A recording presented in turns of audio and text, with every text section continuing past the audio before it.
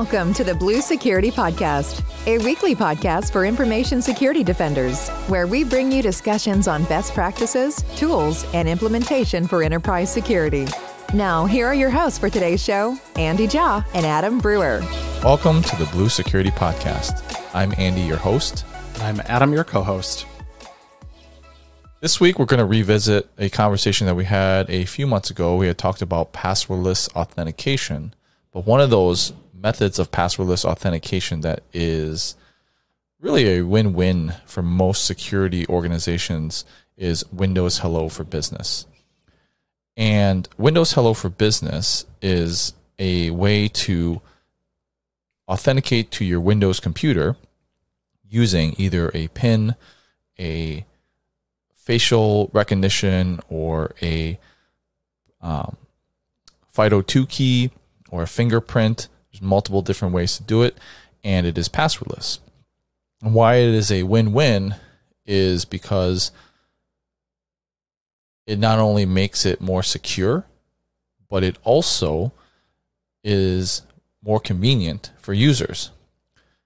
I don't think I've ever implemented Windows Hello for Business in an organization where I get a lot of pushback from users because it's something that is really nice for them to have. It makes it easy for them to log into their computers. So, one of the concerns that happens a lot with Windows Hello for Business, especially if you're using biometrics like a fingerprint or a facial recognition uh, algorithm in order to sign in, is for a lot of companies who have really locked down environments, they're concerned about privacy.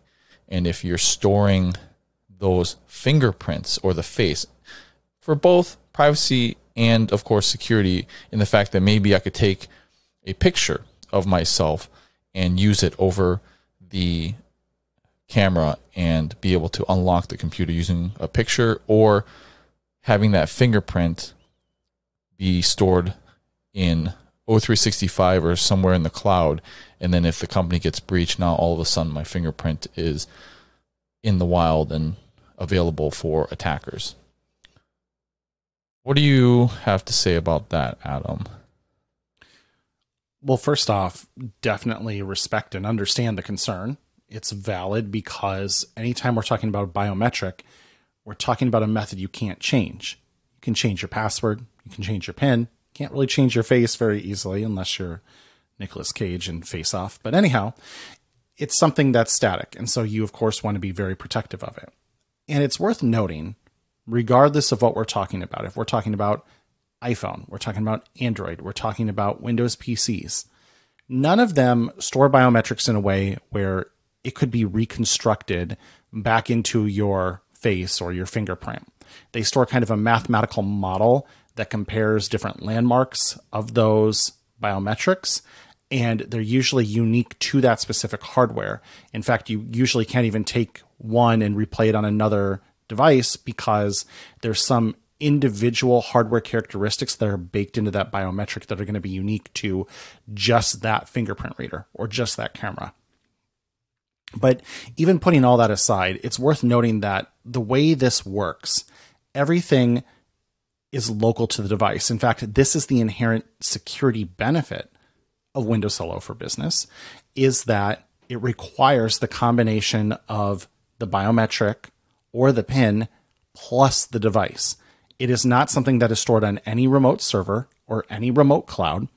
It's unique to that device only. So let's take a theoretical example. I have a Surface Book 3 that I use for work at Microsoft. And when I got that device, I was asked to enroll in Windows Hello for Business when I got it. And so, first off, they validate my username and password. Then they ask me to do a multi factor challenge of some kind, whether that's a text message, a phone call, um, an authenticator app on my phone, something to prove some step up authentication before I'm able to create and enroll my Windows Hello for Business uh, setup. And so then it will actually have me look at the camera and it will create a depth map of my face. And again, that's stored locally just on that Surface Book 3. That's not accessible to Microsoft IT. It's not accessible to anything in the Microsoft cloud. And then it also asks me to create a PIN. And actually, the same benefit is there too. When I create that PIN, that is never transmitted over any network or stored anywhere else. It's just local to that device. So when we say that biometric never leaves the device, that is the security benefit of Windows Hello. Like the whole concept falls apart if that were untrue, because that's where a password is fallible. I have a password that's stored on a remote server that knows what that password is, or at least knows knows what the hash of it is, and then I type in my password and transmit that over the network, and that remote server compares it. So it's not just a secret that's unique to just that one device. That secret is on multiple devices. That secret transverses a network. There's all sorts of issues inherent with that model. So that's why you can feel really confident that when we talk about the security benefit of Windows Hello for Business and we talk about things like your facial recognition data or your fingerprint recognition data is local to the device, you can trust that that is true because the entire security promise of the service breaks if that were to not be true. And so that all happens between the security chipset on your device, the TPM, and is used to unlock that TPM to perform security operations. So, something to hopefully give you a little more confidence in when, when we talk about these things.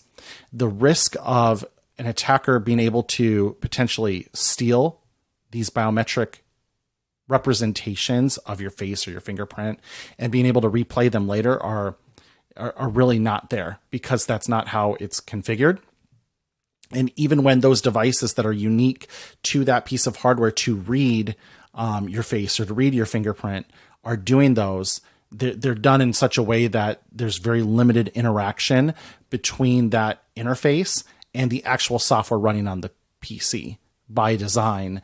It, it, happens more just internally to the device itself. And so there, there's a lot of protections there and, and a lot of um, guarantees in place to prevent the risk of replay of those kind of attacks. So you should be pretty confident in that and, and know that your privacy is is inherent to the way the system is architected.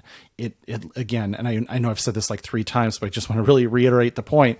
If if we are storing your facial recognition data on another server, then Windows Hello is not the security benefit we claim it is. So that's something to be aware of. That's that's what makes it great is that it is local to the device only. And when it comes to like pin versus password, like you said, Adam, because the pin is local to the device, if I knew your pin, mm-hmm. it does me no good unless I actually have your Surface Book 2 or Surface Book 3 as well. If I knew your password, and let's say f- for argument's sake, you didn't have MFA enabled, well, then I have access to all the things that your username and password have access to. So I don't need your device. So that's why, again, the PIN versus password or um, Windows Hello versus password is always a better option, even if you just implement it with a six digit PIN. Because again, that PIN is local to the device, and I would have to have that device whereas your password is transmitted over the wire over the network. And and on that note, there are plenty of organizations that do roll out Windows Hello with just a pin. And that's great. I always emphasize to my customers, I say constantly, you do not need biometrics to deploy Windows Hello for Business. You can do it with just a pin. Now, something I will ask very strongly of you that unless you have a regulatory need that states otherwise, do not treat the PIN like a password. It is not a password. It is not stored anywhere else. It's not a shared secret.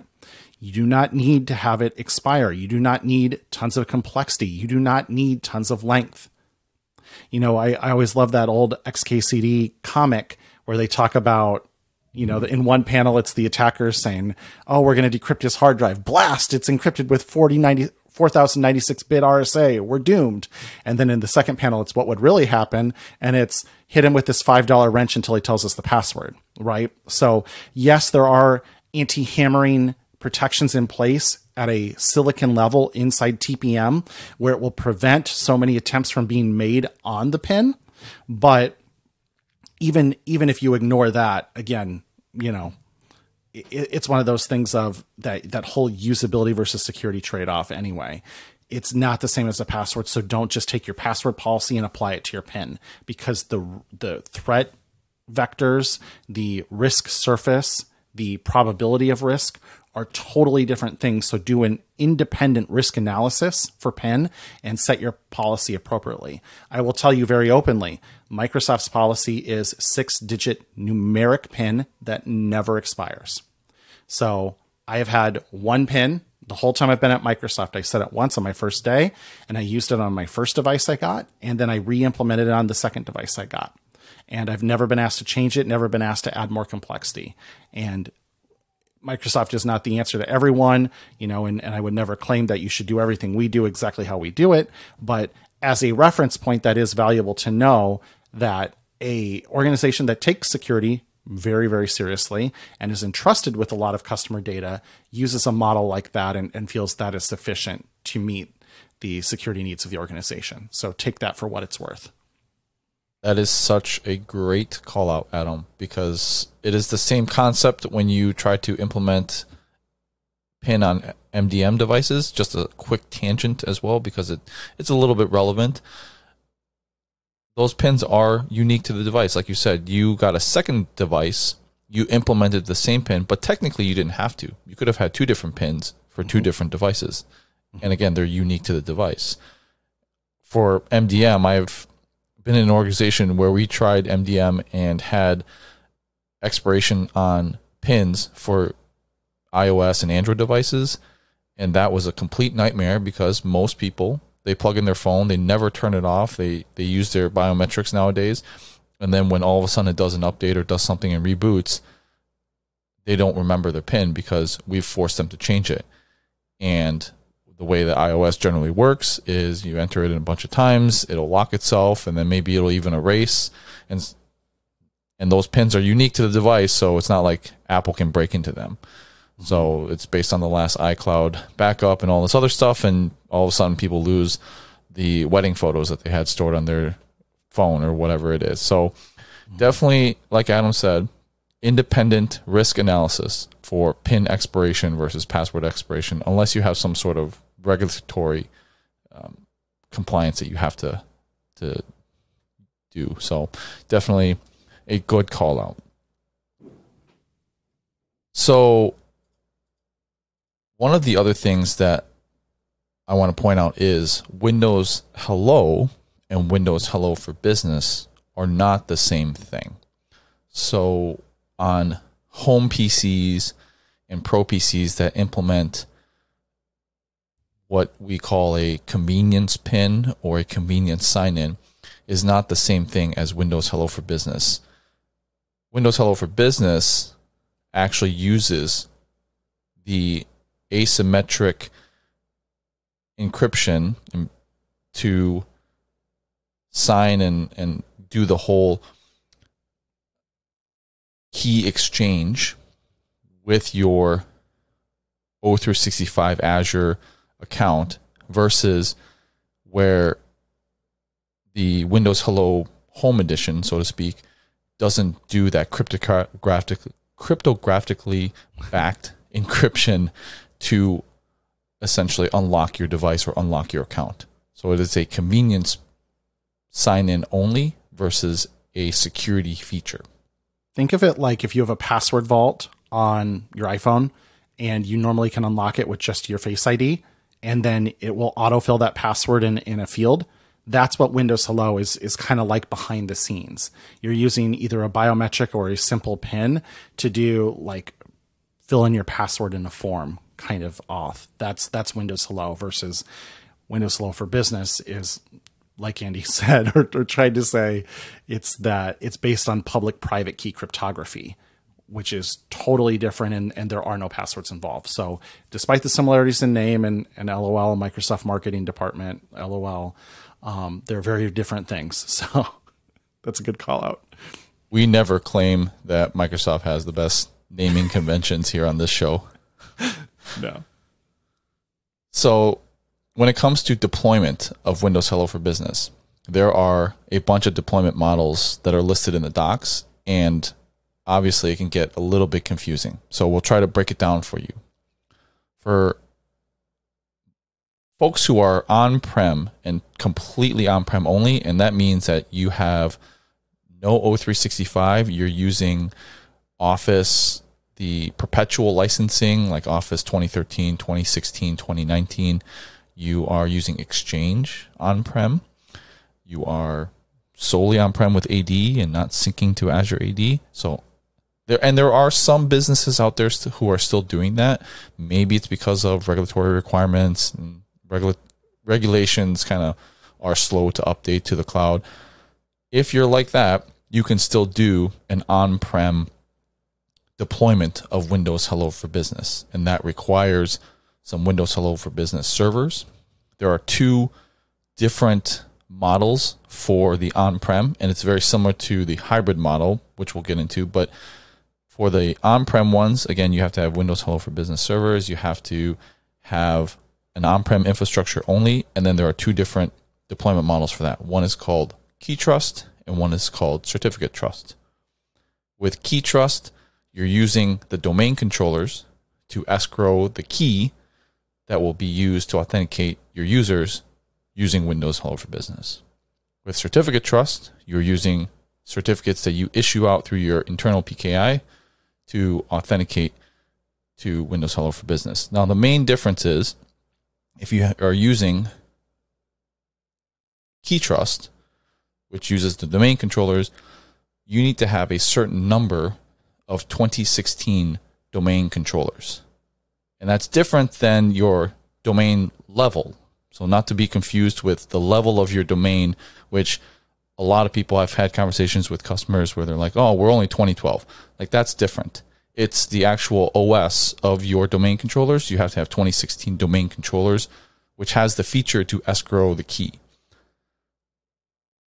There is a formula to calculate how many domain controllers are required, and it's based on how many authentications are happening that the domain controller has to perform these authentications. So if it's a smaller organization, you may only need one 2016 domain controller. If it's a larger one and you have hundreds, thousands of users authenticating, you're going to need multiple 2016 domain controllers. And again, there's a spreadsheet within the documents, which I'll link in the show notes to kind of help you through sizing for your deployment. For hybrid models, very similar. Again, there's the same two deployment models key trust and certificate trust. We didn't talk too much about certificate trust. Certificate trust, both for on prem and hybrid, don't require that 2016 domain controller. But it does require you to have an internal PKI and issue out those certificates. And then you have to maintain those certificates. If you revoke or expire user certificates within two, three years, then you'll need to reissue those certificates to those users. It does require at least 2012 domain controllers so that for sure. I mean, if you're on 20 or 2008 domain controllers, you should probably upgrade to 2012 anyways. So it's pretty current. And in both models, in both certificate and key trust, they again use that asymmetric key pairs. They both use the TPM hardware. And so that's very similar. It's just do you want to escrow the key with the domain controller, or do you want to issue out certificates to perform that asymmetric key exchange? Andy, can you walk our listeners through a decision tree on which model to use? So, obviously, hybrid versus on prem, that's going to be informed by do you have Azure AD Sync configured, is essentially kind of the decision point there. So, that's kind of decision point one. If you have no Azure AD Sync stood up, you're not doing it, you don't do anything in Azure AD, then you're on prem. Otherwise, you're hybrid. Okay, next step. You are looking at key trust versus certificate trust. What's kind of the decision points there and which direction you should go? The biggest decision is whether or not you have an internal PKI system and you want to maintain those user certificates for specifically Windows Hello for Business authentication. That so if half. you right so if you if you if you don't have internal pki then you may not want to go with a certificate trust because let's be honest pki is complicated. Mm-hmm. And to be able to have an internal pki and to be able to issue out those certificates to users and maintain those you need someone who is proficient at doing that. Even if you do have an internal pki again, issuing out user certificates versus machine certificates through Active Directory is a totally different thing. Mm-hmm. So you need expertise in order to do that and to scope it correctly. And the other decision tree is do you have enough 2016 domain controllers in order to perform enough authentications? Mm-hmm. If you were to go with the key trust deployment. Mm-hmm. So it's it's a tough way either way. I talked to a customer earlier last week about this same thing. They didn't have all 2016 domain controllers. They had one, I think, out of a large number of domain controllers. And then they did have an internal PKI. Internal PKI in certificate trust is more complicated, but again, they had expertise, so they said this is probably the way that we're going to go. Mm-hmm. Key trust is a lot easier to deploy. Certificate trust is a lot more difficult, a little bit more complicated. So again, another decision making. So I, I, think I, I kind of pulled out three of them there where one of them is do I have PKI already stood up and in place? And I think the second part of your point is even bigger. The appetite, the expertise, and the buy-in to do all the care and feeding that comes with it. There's the number of domain controllers you have that are running 2016, and that kind of is going to factor into it as well is there any security difference in in the security of the solution comparing key versus certificate trust and or are there any feature differences things that i can only do with one model or the other No, there's no difference in the security. Both are going to be just as secure. And feature wise, again, no different. So the the only difference is how those key exchanges are being dealt with in the back end. But for the user and for IT implementing it later on, it's going to be the exact same. So there are some differences again with hybrid and on-prem. So like with hybrid, there are some requirements to Azure AD Sync to do password hash sync in the background, as well as enroll those certificates to the machines through GPO or some sort of automated enrollment for the domain controller. And then for certificate trust, you have to issue out those user certs. Again, also deploy them out to the machines same way through probably GPO. But it's more semantics than than the actual authentication or security. So you're going to get the same security benefits. Users are going to see the same benefits in passwordless sign-in.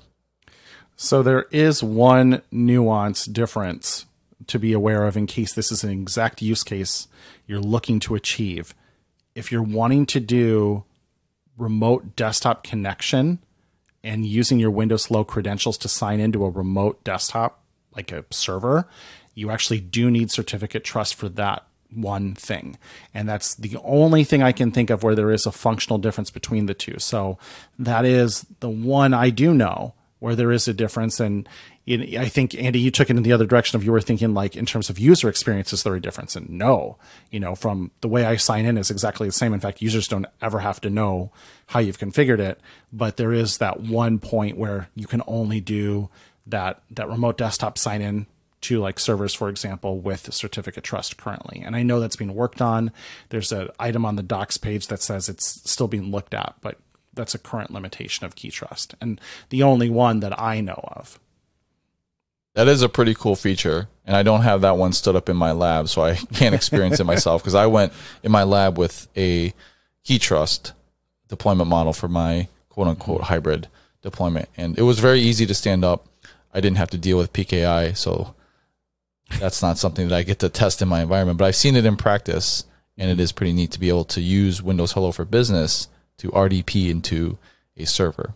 Mm-hmm. So that's a good call out. Thanks, Adam. Mm-hmm. The other method is obviously cloud.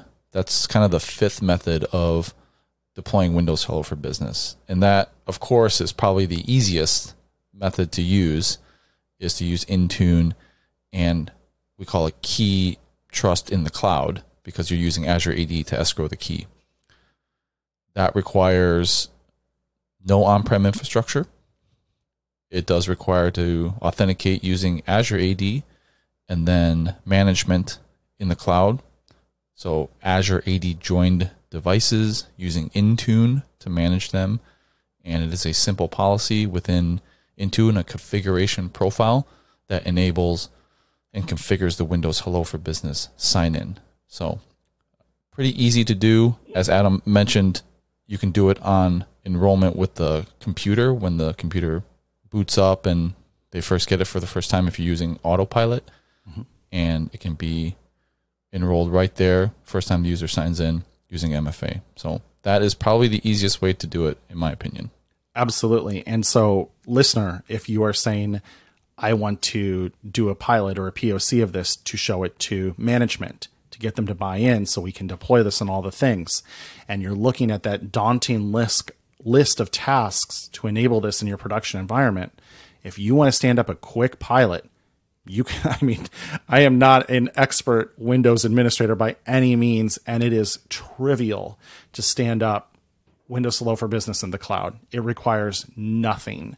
You just pretty much deploy a policy to a Azure AD joined device that says, "Hey, do Windows Hello for Business." like that's all you have to do, and the device will just do it. There's there's zero configuration. So that's something if you have a device, you can reset it back to the out of box experience in Windows. You can stand up Azure AD Join in your demo tenant or your test tenant or your sandbox tenant. And you can join that, do Windows Hello, and say, hey, boss, look, Windows Hello, this is cool. We should do this. And you can have that stood up in no time. So if you're looking at a way that does not require a ton of expertise in Windows management to be able to quickly show it in real world scenarios on your hardware in your organization, that is your ticket to do that. So even we understand most organizations are not fully cloud, although, hey, go listen to our Shannon Fritz episode because we'd love to see you adopt more Azure AD, Azure AD Join, but certainly has a ton of benefit here as a way to quickly spin something up and show it to the decision makers of your org. Speaking of the Shannon Fritz episode, a really good one that talks about device identity, there is a key differentiator when it comes to the authentication chain for hybrid versus Azure AD in this case. So if you're on prem or you're hybrid, in both of those cases, you do need line of sight to your domain controller. Shannon had talked about when you sign in using Windows Hello for Business on a hybrid Azure AD joined device, that you are essentially authenticating to the domain controller. And if you have a cloud joined device, that the authentication is the same. If you were to try to access an on prem resource, you still need to authenticate and it hits AD. But if you authenticate using Windows Hello for Business because you haven't typed in your password, it authentic it has to ask you for that user credential the first time you do that. So in the cloud, it's the same thing as versus the hybrid Azure AD or on-prem device. When you're using Windows Hello for Business, it has to have line of sight to the DC versus with Azure Active Directory joined devices for Windows Hello for Business, it does not need a line of sight to the DC. And that's an important differentiator. So if you're trying to stand up Windows Hello for Business and you're not doing it in the cloud like we talked about, think of it like an on prem device. It needs to have some sort of VPN or be on the network when you authenticate using Windows Hello for Business. Now, I had the question come up well, what, if, what if the user is remote and I'm using Windows Hello for Business? There's always the backup, right, to go to the password. If you've typed in the password at some point, you know that Windows caches those credentials. As long as that machine still has domain trust and it hasn't been off the network for so long that it loses domain trust, you're going to be able to authenticate using the password as a backup. But if you're using Windows Hello for Business, it does need to exchange that Kerberos ticket, really, when it comes down to it. If you look at the authentication chain for hybrid Azure AD, the Kerberos provider has to locate the DC before it even sends the communication back and forth when you're authenticating using the Windows Hello for Business. And it sends a Kerberos request to the DC. The DC validates a certificate or key and it returns that TGT, the ticket granting ticket, and the machine validates the cert, passes it back to the LSASS, and then you get a successful login. And so again, that whole authentication chain for hybrid requires line of sight to the domain controller. Very, very important. And the reason why this is such an important call out is with the ongoing shift in work and you know i'm going to avoid like getting into the hybrid work discussion but we'll just acknowledge it here with that ongoing shift and being more agile with where and how people work companies continuously are looking for ways to reduce that dependency on line of sight to domain controllers and the answer to that is not windows hello for business it is going to have the same limitations and restrictions and, and caveats as using a password when you're in hybrid mode. You still need that occasional line of sight to the domain controller before you get cached credentials. And then you can ride out the storm on cached credentials for a while, but eventually you need line of sight again. That story still holds true here if you're in hybrid. Hybrid does not reduce that relationship between Windows and then on premises domain controller. You're just changing how the authentication happens, but not where it happens. So that's a really fundamental point to understand here is that this is not your ticket to solve that dependency. Now, again, not trying to get off topic here, but if you continue to have interest in eliminating that dependency, and you should, then you need to look at Azure AD Join because that is the solution to eliminating the dependency and moving that dependency to a cloud facing, internet facing service. That's how you get out of this. But otherwise, you're going to continue to have a lot of the same scenarios bubble up that you've dealt with in the past. It's just the way the user authenticates is different.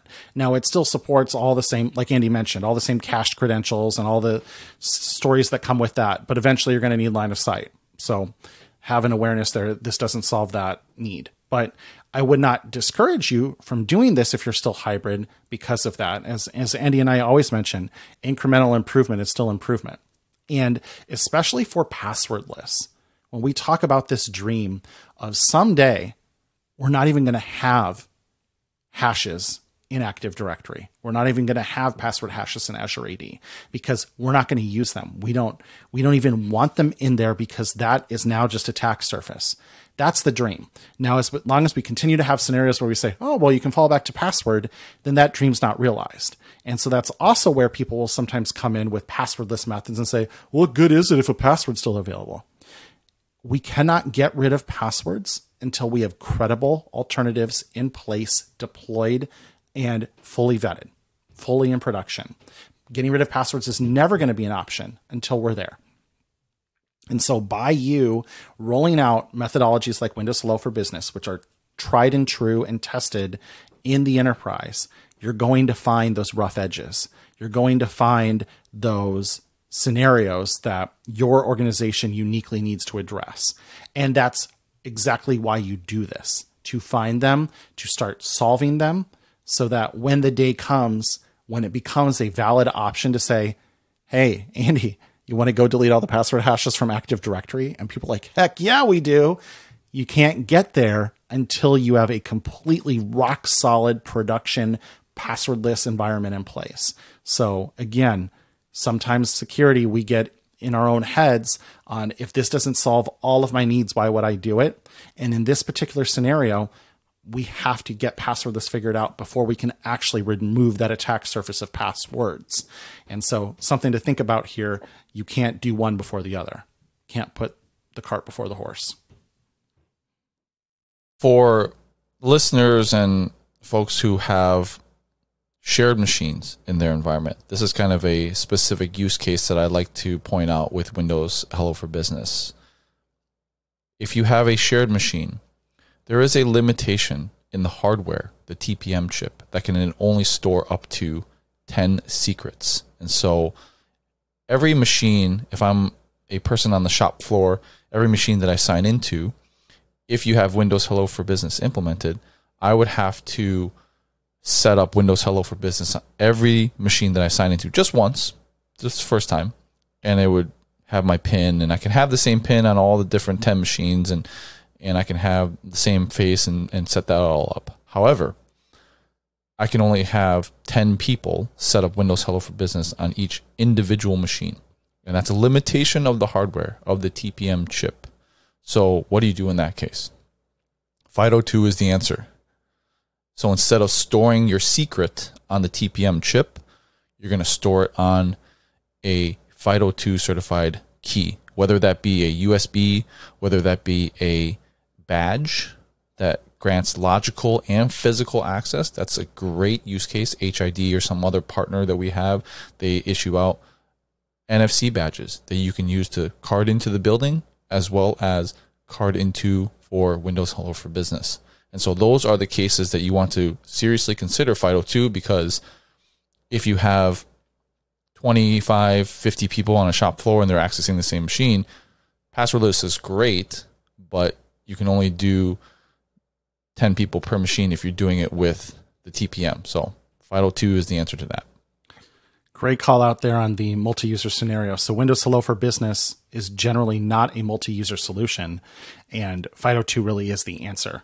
Because, I, Andy, I think you nailed it in such a simple way. We are essentially moving the storage of secrets, we're offloading it from being inside the PC to being a separate piece of hardware, whether that's a USB device or I think the badge thing, give it a couple more years, it's just going to blow up. Because the beauty of having my single badge that gets me in the building, has an NFC component built in. I tap it on a reader, I put in a pin, and then I'm granted access to the PC. That's beautiful. And it's going to be so much better in so many different ways. And so that is supported, by the way, and it's considered kind of a Windows Hello for Business thing. It's under that umbrella. That's supported in both cloud joined as well as hybrid joined scenarios. So don't think you can't get access to that because originally it was cloud only. It's been available in hybrid joined scenarios now for quite some time as well. So regardless of how you want to do it, that is an option. And honestly, just look into the badge thing because I think there's opportunities for cost sharing because generally like InfoSec doesn't pay for badges. That's more of a physical security thing. That's some other department, usually like real estate and facilities or whomever. See if you can do some cost sharing on, hey, let's reissue badges. Let's get a whole new batch of HID badges in or whomever your vendor of choice is. And let's get the new ones with the NFC built in. And we can share the cost on that. And now it's not IT having to have that cost burden alone and you're going to have the most futuristic, future proofed multi user passwordless scenario ready to go. So, for anybody who has those multi user device scenarios, I, I, think that's that's just a great solution. And I get the challenges with a USB device, but I I get really excited talking about that NFC stuff because I just really think that seems like, at least in my head, as I think through the logistical challenges and everything else, I think that checks all the boxes. It really, really does. So um, I'd be curious, by the way, listeners, if anybody's doing anything like that today, and not not the old badge stuff like I see happen at the doctor's office where they have single factor authentication with just the badge, which terrifies me. No, no, no. I want tap the badge, put in a pin, sign in, you know, full passwordless credential. If you're doing that, especially with FIDO2 and NFC, shoot us a, a note because I'd love to hear more about it. So hopefully we've given you some information today that you may not have known and empowered you to take this and maybe start a pilot of it and try to convince your leadership or deploy it in your environment. And really, like Adam said, you know, it's not hard to get started. You could deploy it in the cloud very easily as a POC, as a demo. You can buy a couple of very cheap FIDO2 keys to test those out too. There's a few that on the cheaper end for only like 12 to 15 bucks a piece. And so, yeah, take this information, test it out. Even if you're doing a small pilot for hybrid, you can do that pretty easily in a key trust environment for a few devices. You don't even need to worry about scale if you're only authenticating a couple of devices. You can scope it to a single OU using a GPO and just get started and start testing it. And I guarantee you, the people that you enroll in these test devices or these test policies, they will love you for it. I've never had anyone say, "Hey, that whole pin sign in, the facial sign in thing, I don't like it." I'm every time I've rolled it out. In fact, it broke for a little bit at my previous company where I rolled it out, and the people who got new devices, they were like, "Hey, uh, I'd like to get back into that testing that you were doing," and you know, I had to spend some time to fix it and get it back up and running, and you know, they really appreciate that convenience of signing in. Talk about if you need a little reputation boost or you need to smooth things over with some of your users. This is a great win for InfoSec. I mean, A, it's better for information security as we've gone throughout here, but the user experience, we didn't even mention, and maybe we should have. This counts from a NIST perspective as meeting all of the criteria for being a multi factor authentication. And so, running with that, if you have conditional access policies that say you must do MFA to get access to email or to do this thing, for all your users who are on Windows Hello for Business enabled devices, they're going to zoom right past that prompt. They're never even going to see it. They're going to get a seamless single sign on right to the resource they're trying to access because they already did multi factor authentication when they signed into their PC. And so that is an absolute thing of beauty where the user experience is off the charts phenomenal. And by the way, as we always call out when we talk about passwordless, phishing benefits too. When users never have to put in their password, A, they start to forget them, which genuinely happens at Microsoft. People will forget their passwords. But B, if something pops up and it's like, hey, I'm Microsoft, give me your password. I'm like, uh, no, no. MSIT would never ask for my password because we don't use passwords anymore, kind of thing. So, tons and tons of benefits here security wins, user wins.